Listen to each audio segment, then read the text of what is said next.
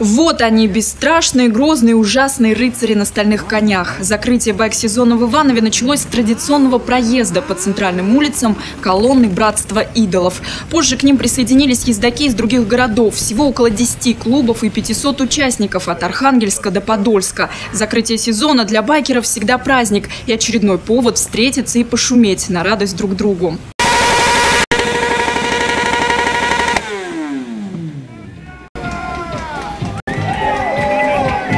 Количество членов клуба – тайна, да и подобные встречи тоже можно назвать закрытыми. К новичкам присматриваются, берут в братство не каждого. У идолов свои порядки и законы. Мы никого не заманиваем, никого не прогоняем.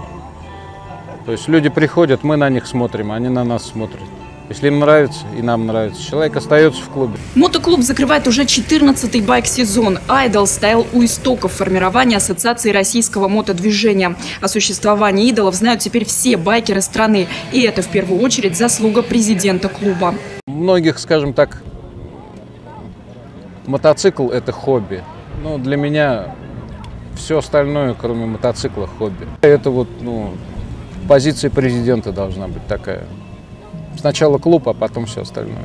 Главная гордость президента клуба – его собака. Этот сэр Брайан выведен специально на заказ. Помесь ротвейлера и лабрадора. Пес на все праздники ездит с президентом. Правда, не на мотоцикле, а на личном авто. День рождения Брайана совпал с днем КГБ, так что персона по всем параметрам особенная. С весом аж в 60 кило. Для байкера мотоцикл – это не средство передвижения, а образ жизни. Скажи, на каком мотобайке ты ездишь, и я скажу тебе, кто ты.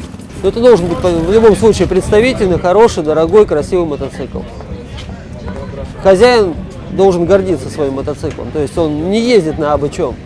Ездить можно и на китайском, на скутере, на всем, но член мотоклуба он не будет ездить на скутере.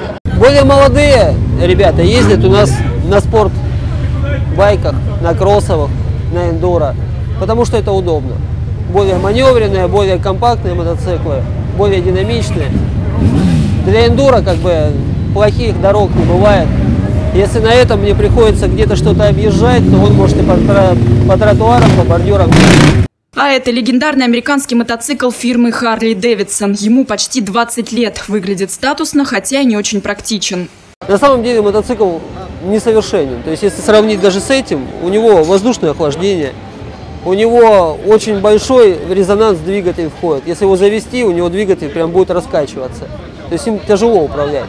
Он очень тяжелый мотоцикл, он больше 400 килограмм весит. То есть как первый, как вот начинающему, он не рекомендуется. От стереотипа байкер, значит, некто агрессивный, неопрятный в косухе, русские беспечные ездаки избавляются с трудом. А ведь во всем виноваты Штаты, где байкер-банды осуществляют контроль над проституцией, наркотиками и вообще слывут чуть ли не маргиналами. За нами не охотится наша полиция, как за американскими клубами.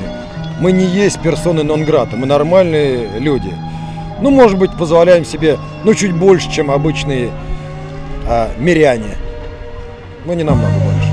Романтичности байкерам не занимать. Это Мальвина и Хатабыч. Познакомились на прошлом закрытии сезона. Хатабыч хоть и волшебник, но родом из Ярославля. Влюбился в нашу красавицу без памяти и понял, что расстояние для истинных чувств не помеха. Он приезжал ко мне практически каждый вечер, каждую ночь. Той же ночью уезжал назад. Вот. Но потом мы поняли, что за два месяца, что это очень... Бензин у нас дорогой. И стали жить вместе, сняли квартиру. Вот уже больше года мы вместе живем. Вот, скоро уже полтора года. Ну, более чем, да. Я очень люблю Женьку. И я надеюсь, что когда-нибудь мы с ним свяжем не только наши мотосудьбы, но и создадим семью. Крайней мере, я думаю, у нас все получится. Я очень что касается музыки, то здесь вкусы у всех разнятся. Байкер не значит рокера, потому и слушает все от симфонии Генделя до шансона. Правда, на закрытии есть и свои музыкальные традиции, под которые, собственно, и пляшут. Вообще мы, как группа, отвечающая за отбор музыкальных коллективов, старались сделать больше упор на так называемый old school, то есть э, на группы, играющие в стиле хард-рок и хэви-метал, потому что все-таки э, это наиболее байкерская музыка, она наиболее соответствует вот этому стилю жизни.